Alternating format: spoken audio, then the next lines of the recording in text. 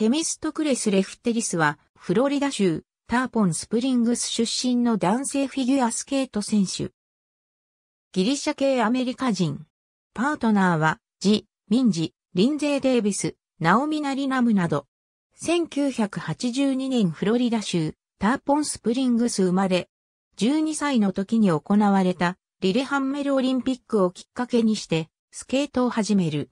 ジャックリーン・ジメネス、ジュリアン・バーンズとのペアを経て2005年にナオミナリ、ナムとペアを結成。2007年全米フィギュアスケート選手権3位となり、4大陸選手権出場する。翌2007から2008シーズンには ISU グランプリシリーズの招待を受けるが、ナムの怪我により辞退。シーズン終了後にはナムが引退し、ペアを解散する。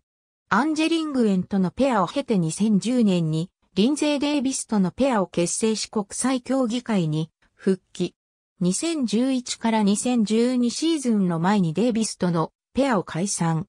2015から2016シーズン、ジミンジとペアを結成し、初開催された韓国選手権のペア競技で優勝した。